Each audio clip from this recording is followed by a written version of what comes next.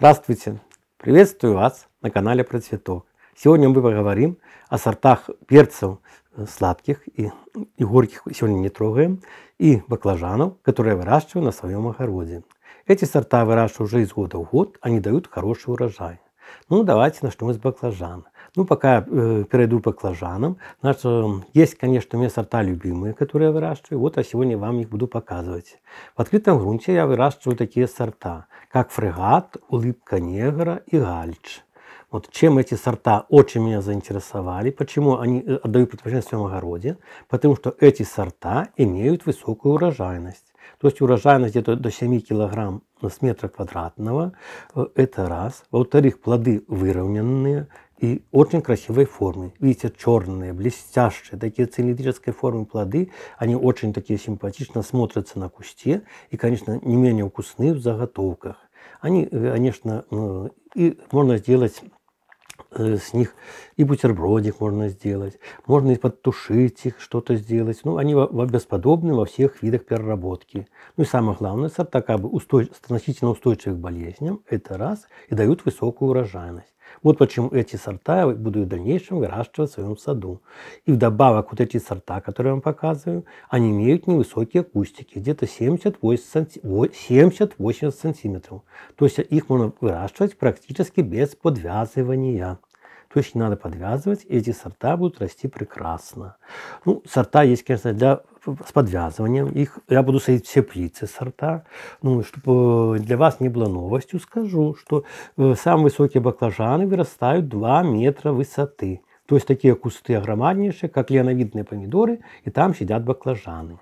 Ну, такие баклажаны я уже не выращиваю, я разочаровался, потому что они подходят для зимних теплиц. То есть в условиях пленочных теплиц такие баклажаны двухметровые, они не успевают отдать весь урожай, ну, потому что сама ботва высокая, плоды, соответственно, завязываются поздно и не успевают отдать урожай, поэтому как бы время потеряно пустую. Опять же, в этом году в теплице я буду выращивать баклажаны, которые высотой выше одного метра. Ну, чем они интересны? Что они интересны крупными плодами. Вот, бычий лоб, 300 грамм весом, сиреневый туман, очень красивые, видите, такие тоже крупные, 250 грамм весом. Сорт Дестан – Сорт Дестан тоже великолепный, эти красивые плоды, крупные, кусты высокие, э, где-то до полутора метра высоты, усыпанные такими красивыми плодами. Ну, плоды точно так же, как и предыдущая группа, идут, конечно, и в консервацию, и в переработку идут. Ну и есть сорта, которые как бы я выращиваю из года в год, но в небольшом количестве. Почему? Потому что это как бы сорта любительские. Э, смысл сортов, что вот, например, э, в этого сорта веселая семейка. Смотрите, их очень много. Они много, у нас их много таких, они сидят гроздями, гроздевой типа баклажанчик, но плоды не крупные, где-то до 10, 8-10 сантиметров длиной. То есть маленькие баклажанчики, вот они идут. Или вот и, и корный рай. Вы смотрите, они разные по окраске, и белые, и полосатые, тоже, ну и тоже плодики, плодики не крупные. Из этой же серии Северная долина. Северная долина, вот тоже такие же плодики, они не крупные, до 10 сантиметров, из такой грушевидной формы, они тоже как бы такие не, не, не, очень, не очень большие. Поэтому понятно, что в этих томатах большой урожайности не получишь. Ну, в этом году впервые я хочу, буду пробовать япон, японский карлик. Вот если вы выращивали этот сорт, можете рассказать. Ну, по характеристике написано, что плоды у этого японского карлика э, бывают до 600 грамм. Ну, и растение высотой всего лишь 20 сантиметров. Конечно, это как-то и верится, не верится, что такое маленькое растение будет держать такие крупные плоды. Ну вот попробую, но вы тоже попробуйте, потом поделите, или уже если пробовали, расскажите, поделитесь своими впечатлениями об этом сорте. Действительно, ли он такой уже очень-очень-очень. Ну, э, баклажаны культура более экзотическая, хотя тоже в нашей семье их очень любят. Э, ну, многие выращивают сладкие перцы. А в сладких перцах у меня как бы пристрастие идет по двум по двум видам. Ну, во-первых, я выращиваю одни сорта в открытом грунте. Почему в открытом грунте выращиваю? Потому что эти сорта невысокие, высота их где-то 50-70 сантиметров высотой.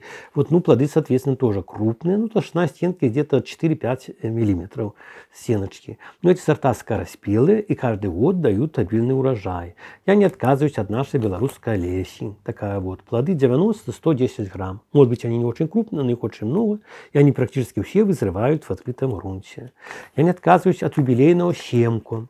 Сорт тоже, боже, не самый новый, 110-130 грамм весом плоды, но они тоже очень, очень урожайные.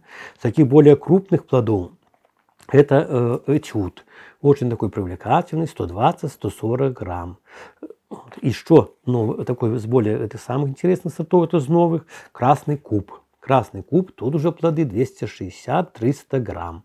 Э, очень хорошие, такие мясистые, но уже толщина стенок и этюда и э, где-то 7 до 7-8 миллиметров они более, более толстостенные.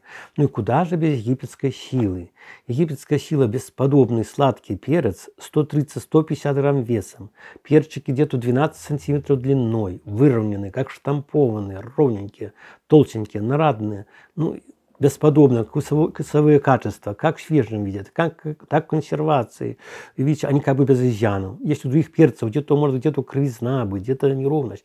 Вот эти как штампованные. Это очень хорошие перцы для открытого грунта. Тем более, что невысокий рост, эти перцы можно спокойно выращивать без подвязывания.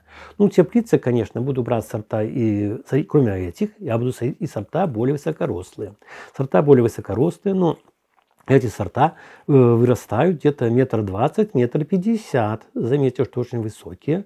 И по этим сортам я применяю следующую агротехнику. Когда выращиваю рассаду этих перцев э, высокорослых для теплицы, для того, чтобы ускорить появления урожая и увеличить урожайность. После седьмого листа я прищипываю верхушки.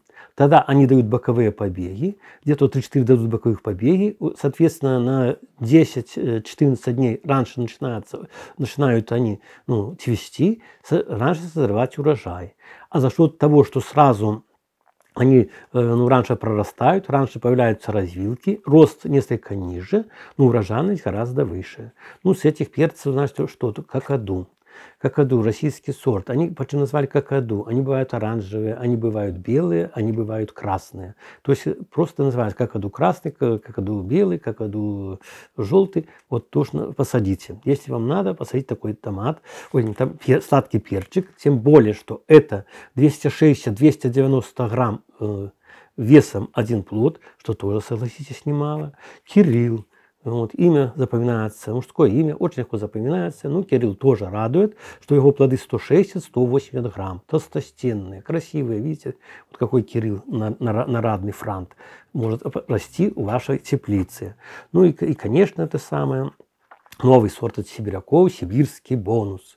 Сибирский бонус, то, что они рекламируют, значит, они обещают, что в это, э, буду с этим впервые, что здесь один плод вырастет до 300 грамм весом. Ну, что тоже очень хорошее вкусовые качества, что сорт холодостойкий, сорт, э, ну, понятно, что холодостойкость, конечно, для перца это понятие относительное, растение все-таки тропическое, но более-менее э, оно устойчиво к неблагоприятным условиям и дает высокий урожай. Так что выбрать есть из чего? А еще более широкий ассортимент семян и баклажан, и перца вы найдете в нашем интернет-магазине «Процветок». Э, обращайтесь, вы будете приятно удивлены и удивите осенью своих знакомых и друзей, и, сем и семью новыми необычными окрасками, новыми необычными формами, необычными вкусами таких знакомых нам овощей, как перцы и баклажаны. Чего вам и желаю. До свидания. Thank you.